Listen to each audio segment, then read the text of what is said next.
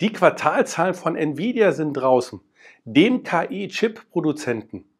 Und wieder wurden die Erwartungen übertroffen.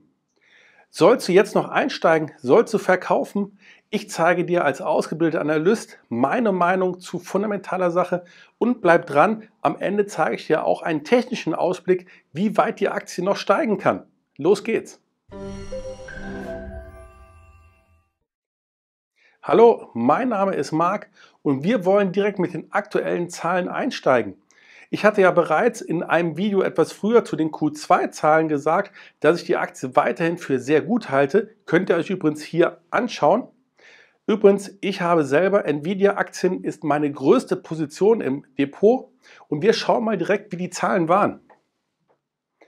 Wir sehen, dass der Umsatz im Vergleich zum vorher rasant wachsen konnte und über 206 Prozent. Also das gleiche Ergebnis, ein ähnlich gutes Ergebnis, wie wir es im letzten Quartal haben. Wahnsinn. Und dann sehen wir, dass der Gewinn, und das ist ja für uns auch als Analysten maßgeblich, wie wir eine Aktie bewerten.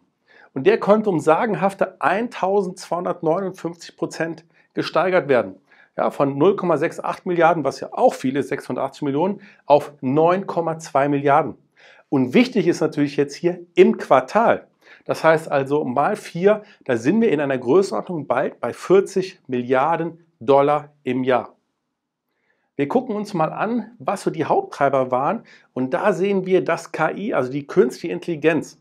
Und da sagt man in der Branche, ist Nvidia mit seinen Chips, also die Grafikchips, sind die Prozessoren, die so KI-Center betreiben, wenn eine künstliche Intelligenz lernen muss. Und da sagen man, äh, Nvidia ist so circa ein Jahr den Wettbewerbern voraus. Und da sehen wir auch, dass die Datencenter mit 14,5 Milliarden Umsatz natürlich der Haupttreiber sind. Danach kommt Gaming, ja, was man immer so als Privatkunde so im Kopf hatte, früher von Nvidia, nur mit 2,8 Milliarden, aber auch das ist natürlich ein Batzen Geld. Und dann kommt etwas, was wir sehr viel in der Presse sehen, zum Beispiel jetzt bei BMW, Mercedes, die Fabriken, die werden alle von Nvidia auch gepowert. Und das sind 0,7 Milliarden, also auch schon fast eine Milliarde, muss man sagen. Also auch da geht das Wachstum stark voran. Wir haben ein großes Problem gehabt, weswegen auch der Aktienkurs zwischenzeitlich ein bisschen eingebrochen ist, und das war China. Es wurde also von der amerikanischen Regierung verboten, dass Nvidia Superchips nach China liefert. Aber auch das Problem wurde zumindest temporär umgangen, indem man nämlich extra ausgewählte Chips für den chinesischen Markt baut, die man dort verkaufen darf.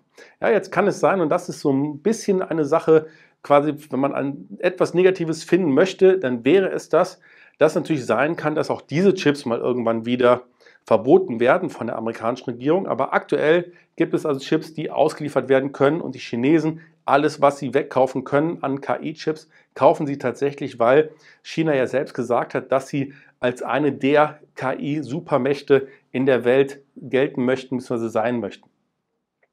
Das spiegelt sich natürlich im Chart wieder. Ja, wir sind jetzt hier auf einem neuen Allzeithoch, zumindest Pre-Market heute. Also ähm, da sehen wir, dass die Quartalzahlen gut ankommen. Ich gehe auch davon aus, dass die Aktie jetzt weiter steigen sollte. Ja, wir sehen natürlich, wir sind ähm, im absoluten Aufwärtstrend. Also sehr, sehr interessant. Und jetzt wird es fundamental interessant. Ja, ich will euch da gar nicht mit sehr vielen Kennzahlen nerven oder sowas. Eine Kennzahl ist ja für einen typischen Aktienmarktanalysten sehr wichtig und das ist das KGV. Und wie wir das berechnen, ist, dass wir einfach den Kurs durch den Gewinn pro Aktie teilen. Und wenn wir das mal machen und ich habe jetzt mal die 4,02 Dollar, die sie dieses Quartal verdient haben, einfach mal hochgerechnet und die Prognose sieht sogar noch höher aus. Also Nvidia sagt selber, dass sie im nächsten Quartal wieder um ca. 15% umsatzmäßig wachsen wollen. Und wenn wir also das einfach nur mal hochrechnen, das heißt, wir rechnen das Quartal mal 4, kommen wir hier auf 16,08 Dollar pro Aktie fürs Jahr. Und wenn wir das mal ausrechnen, dann haben wir, beziehungsweise ganz kurz vorneweg, wir wollen immer gucken, weil das ist immer für uns wichtig oder für mich als Analysten, wir wollen immer vergleichen zwischen den anderen Unternehmen in der Branche und dem aktuellen Unternehmen, was wir uns anschauen. Und dann können wir sagen, relativ gesehen zu einem anderen Unternehmen, ist das Unternehmen teuer oder nicht. Und wir sehen da, dass die anderen Größen, Microsoft, Meta, Apple, Alphabet, die sind so beim KGV so um die 30. Ja, Apple vielleicht so bei 33, ähm, Meta ein bisschen günstiger, so bei 27, 28.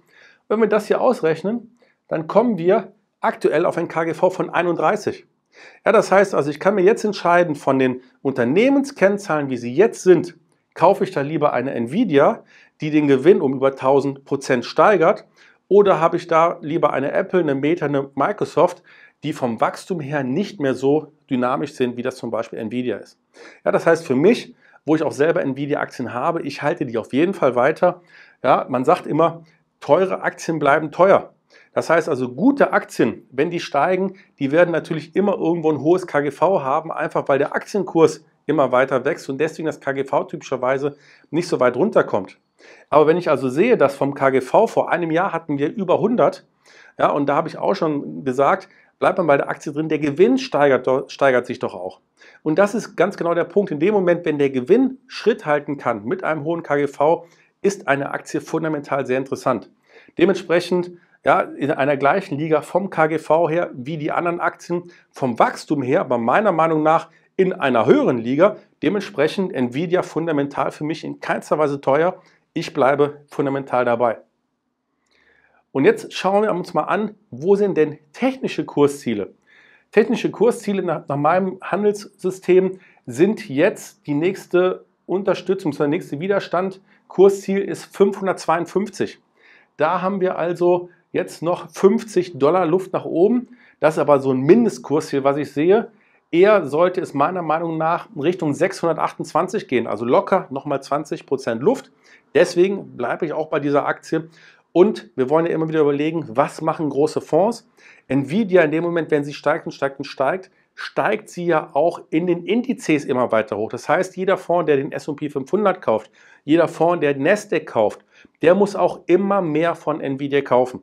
Ja, und das ist ja der Grund, dass eigentlich Indizes nichts anderes machen, als die größten Unternehmen der Welt immer mehr kaufen. Ja, genau das wollen wir hier auch tun. Wir sehen fundamental gut bewertet, technisch gut bewertet, bleibt für mich ein absoluter Kauf.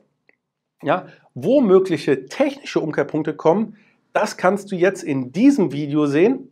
Das zeige ich dir, wie man mit Divergenzen Umkehrpunkte findet. Schau dir das an. Ist interessant, wenn man zum Beispiel bei so einer Aktie nach einem möglichen Umkehrpunkt sucht oder wo man dann zum Beispiel aussteigen kann.